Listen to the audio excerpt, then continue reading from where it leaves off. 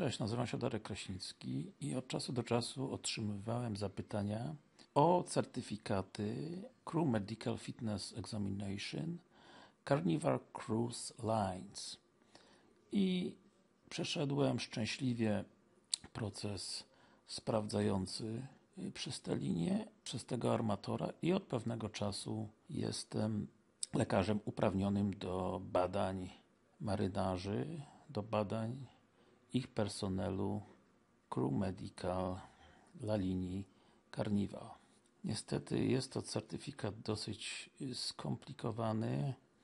Proszę zobaczyć ile tutaj należy wykonać różnych badań i potwierdzeń.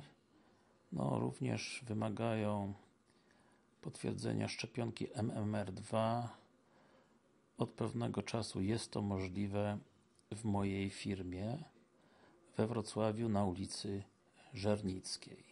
Aby sprawę jeszcze skomplikować bardziej, wszystkie tutaj badania wymienione w, tym, w tej rubryczce są do wglądu przez armatora, czyli Carnival Cruise Line. No, jednym z ciekawszych badań jest tutaj panel narkotyczny, ale również są zainteresowani przejściem przez marynarza czy personel inny y, wirusowego zapalenia wątroby, jak również testu pregnansy, czyli nie chcą pań w ciąży na swoich liniach. Także jeżeli jesteś zainteresowany skorzystaniem i wykonaniem tych badań u mnie, wszystko jest możliwe do zrobienia. Samo badanie lekarskie kosztuje 150 zł. No niestety koszt tych badań jest nieco większy.